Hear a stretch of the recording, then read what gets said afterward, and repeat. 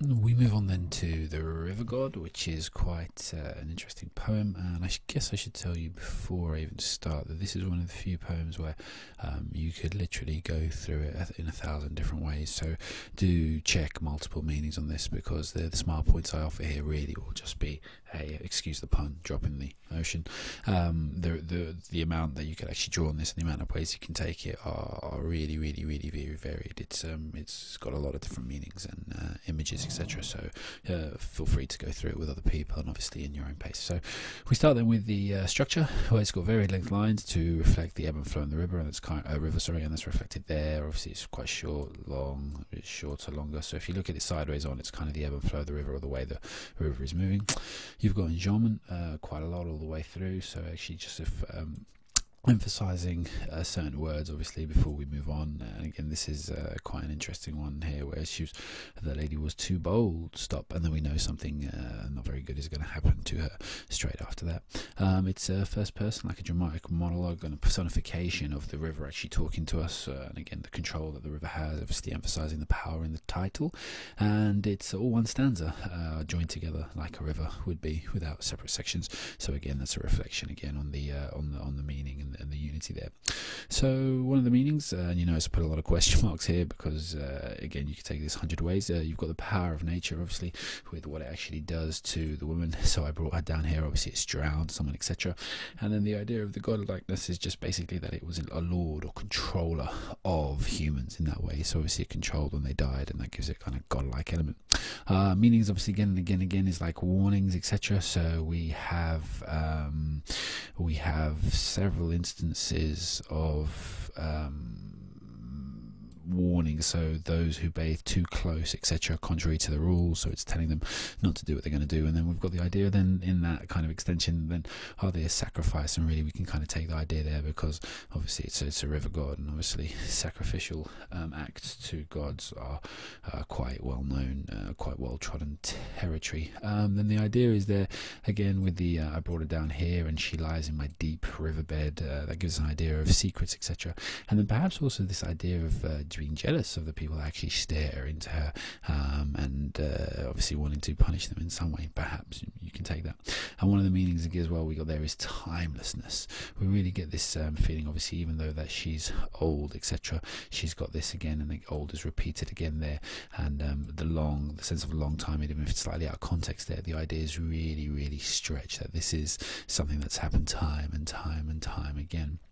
So we've got images as well of the uh, river, uh, the the roughness and the reediness, and it's being smelly and old, etc. And um, again, re- repeat again they, with the foolish and the smelly, etc. So that gives the idea of it being a little bit of obviously a river and a little bit dirty to some extent.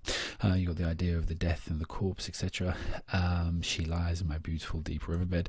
Obviously, there she's lying there dead, and um, her golden sleepy head. So obviously, there she's asleep and she's dead in that sense sense, and the goldenness of probably there refers probably there refers to blonde hair. Um, you've got the idea of beauty again in that golden sleepy. Oh, sorry, again in that golden sleepy head, and obviously the idea of the beautiful lady, etc. And so you've got the the and obviously she's a lady when she's actually referred to, or this one in particular is actually referred uh, referred to. So you you can kind of pick up the idea of beauty there, which obviously contrasts with the river, which is again linking us back to maybe why she's jealous of the person. So uh, we've got the repetition which we've picked out a couple of times already, like lady, lady, smelly, etc.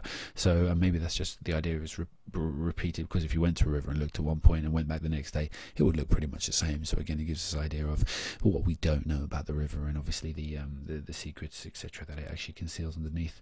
Um, you've got the idea of this real lurking feel, like it's oh I maybe. So it's kind of like sneaky, just kind of hanging around there, and also the words like but here, but where, and but I can, and what she can do. Oh, she will oh, who would, etc. there and there. It's really gives this kind of lurking, creeping feel the whole way throughout the poem, and um, it's a bit, uh, yeah, it's quite sinister and. Uh, uh, creepy in, in, many in many sense. Here you've got the the golden, obviously the idea, the metaphor there, obviously being perhaps something blunt, and also if we need another one, we've got the fish floating here as an alliteration again, which just makes it more memorable to the reader. And then the language obviously is personified the whole way through. This is the river talking to us, seemingly.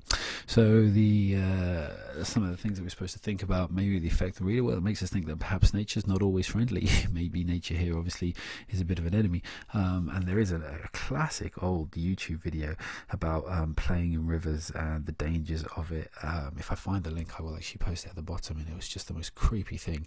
Uh, it's from well before my time, but a colleague of mine actually pointed out. But it's it was a public announcement video, um, sorry, a government video, just kind of putting people off playing in rivers, and they had this creepy death-like character. Um, yeah, just again, just being almost like the river in this case. But uh, like I say, I'll try and find the link and put it out for you.